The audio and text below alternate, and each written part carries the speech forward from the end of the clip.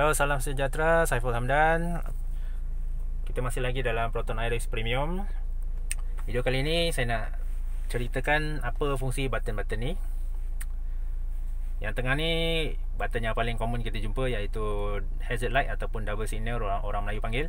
Bila kita tekan ni dia akan on double signal lah.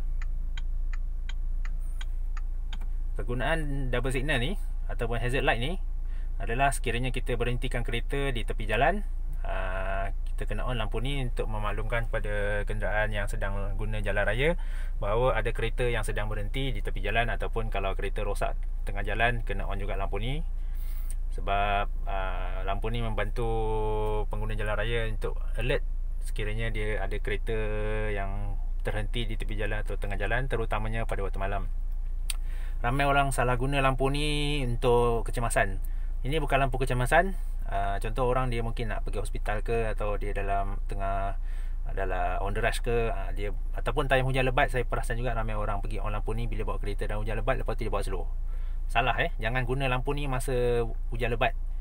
Kalau time hujan lebat buka lampu buka fog lamp depan ataupun fog lamp belakang. Fog lamp belakang tu pula ramai orang pergi on bukan pada waktu hujan lebat. Kadang-kadang hari siang malam biasa pun dia pergi on lamp belakang. Salah eh sebab tu nama dia fog lamp Lampu kabus. Guna time kabus je. Dia bukannya headlamp Bukannya tail lamp So itu double signal Jangan salah guna. Ini adalah button untuk turn off traction control. Cara nak turn off Kita tekan dan hold Sehingga logo traction control off Keluar dekat meter. Ha, Dah keluar. So bila logo tu ada Maksudnya kereta kita Traction control off. Bila nak guna traction control off ni? Uh, Untuk Malaysia Traction control off ni boleh dikatakan agak redundant sebab uh, benda ni adalah safety features. Tapi ada di ketikanya kita perlu off benda ni. Sekiranya contoh kita jalan kereta, bawa kereta dekat kawasan jalan yang bertanah ataupun berpasir benda ni akan kontrol tayar daripada slip. So bila jalan yang terlalu licin uh, berpasir lah khususnya uh, bila kita off traction control ni dia membantu untuk improve grip. Sebab kadang-kadang kita perlukan juga tayar slip tu untuk uh, increase kita punya momentum kereta bergerak.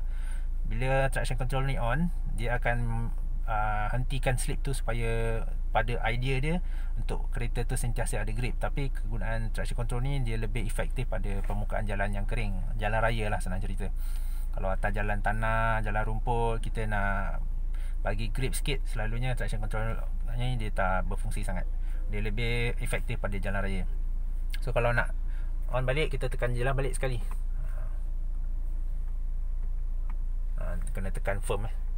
Kalau nak off tekan dan hold. Nak on balik tekan sekali je. Ini ialah central locking. Lampu ni menyala maksudnya pintu semua dah kunci lah. Nak unlock nak lock tekan je lah. Ha, sekarang ni dah unlock. Ini ialah button untuk turn on parking sensor depan. Ha, bila lampu tu menyala kat meter sensor parking depan dia on lah. Ini untuk membantu kita parking ke arah depan nak elakkan kereta daripada berlanggar dengan objek atau kereta lain. So ini sangat membantu. Saya suka benda ni. Itu sajalah. Uh, kereta Proton uh, sekarang semua dah ada button ni untuk uh, convenience khususnya central locking uh, parking sensor.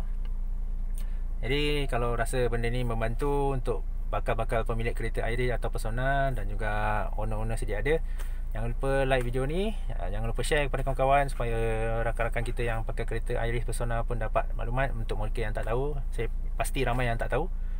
Uh, Jangan lupa subscribe video saya. Saya akan kongsikan lebih banyak lagi Perkara-perkara yang mungkin agak remeh Pada kereta Proton Tapi penting untuk diambil tahu Sebab orang kita ni malah nak baca buku manual. Jadi saya buatlah video Senang nak tengok Tengok pun seronok lah Dengan berceloteh kan. Jadi jangan lupa untuk yang berminat nak beli kereta Iris Atau Proton yang lain Jangan lupa kontak saya di dalam WhatsApp WhatsApp link dalam description video. Follow saya di Facebook, Twitter, Instagram dan TikTok. Uh, Semua link uh, social media saya ada dalam description. Uh, Sehingga ke video akan datang. Sekian, terima kasih